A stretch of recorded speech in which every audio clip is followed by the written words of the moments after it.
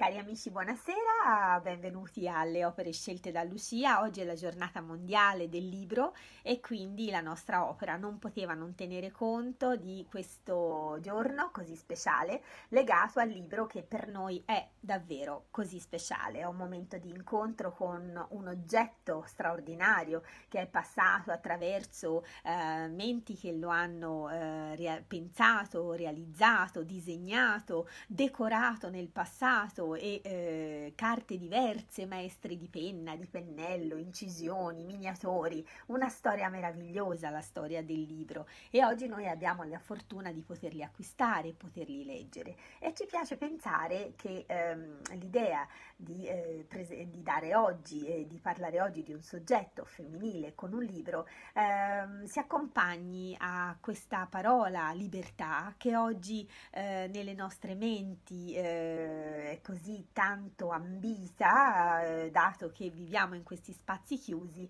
e la libertà è qualcosa che possiamo conquistare con il sogno e col pensiero e il libro è lo strumento che ci aiuta. Il libro che eh, nelle mani femminili è stato spesso rappresentato nelle mani delle sante, nelle mani della Vergine Maria come sede sapienza, ma per esempio vi, vi presento questo straordinario artista fiammingo, il maestro di Hoogstraten, una, un'opera del XV secolo conservata alla Galleria degli Uffizi dove si vede la Vergine, il bambino, Santa Caterina e eh, la mh, mm, Santa Barbara con questo libro bellissimo di cui vi mostro il dettaglio in cui pagine ehm, decorate, miniate, il taglio del libro, la costola, la coperta eh, ci fanno capire quanto attenzione eh, la committenza faceva alla realizzazione del libro. Eh, mentre pensavo all'opera da scegliere, mi ricordavo di aver visto una immagine molto bella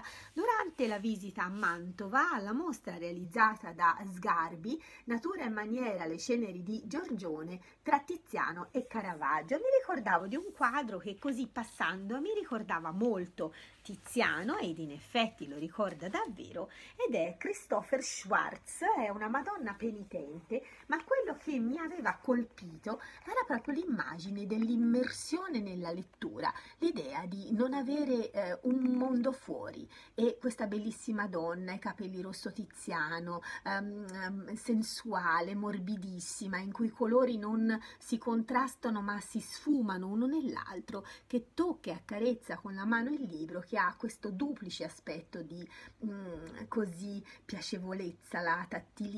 l'aspetto tattile e l'aspetto appunto eh, privato ed evocativo ma eh, quale, è, da, quale sia davvero il quadro per eccellenza che ci eh, aiuta a capire qual è il momento proprio in cui eh, ci rintaniamo e non vogliamo uscire, ma stiamo soltanto noi e il libro eh, per tutto il resto del tempo senza mai uscirne. Ecco, questo è il quadro che ehm, subito a tutti noi viene a mente. Sto parlando di questa bellissima fanciulla dipinta da questo artista ginevrino, si chiama Etienne Lyotard, vestita alla turca su un divano verde. Guardate la qualità del dipinto, il, eh, l'attenzione al cappellino, alle perle, no? totalmente immersa nella lettura. La, um, il quadro che è stato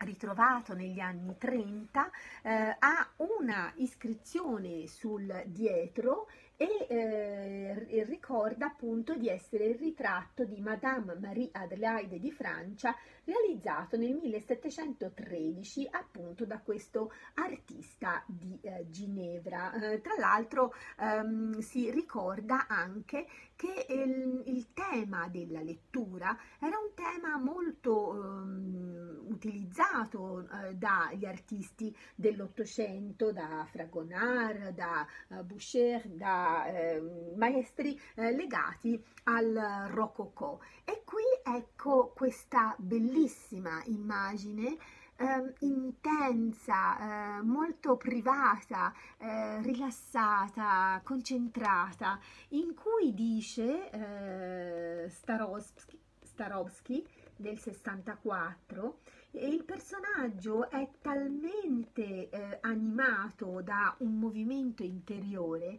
che sembra di percepirne la respirazione tranquilla, lo sguardo fisso nelle righe del libro e più lontano sull'orizzonte fittizio scaturito dal libro. Ecco, questa idea del percepirne il respiro, no? questa idea che ci sia un rapporto tra il libro e chi lo legge, e questa immagini di queste donne che viva la libertà di leggere, di conoscere, di sapere e di trovare un punto dove potersi sedere in un angolo e lasciare la mente seguire le parole di cui se ne capisce il significato, immersi in una straordinaria lettura. Quindi questo è il nostro modo oggi di celebrare celebrare e commemorare insieme la giornata mondiale del libro attraverso la grande arte dei pittori del Quattrocento, ma soprattutto per questo eh, quadrettino delizioso della Galleria degli Uffizi che vi mostro ancora,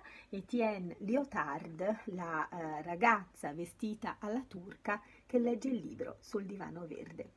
Con questa opera vi saluto e vi ringrazio, a domani.